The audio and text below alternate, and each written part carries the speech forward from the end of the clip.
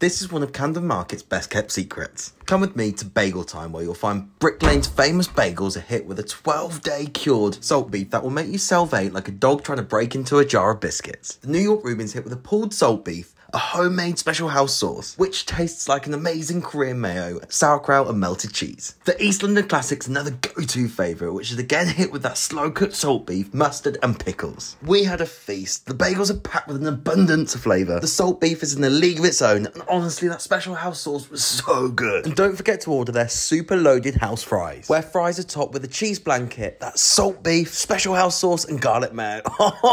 Oh, yes, please. Just look at the pull on that. If you can't take a day to mate, enjoy.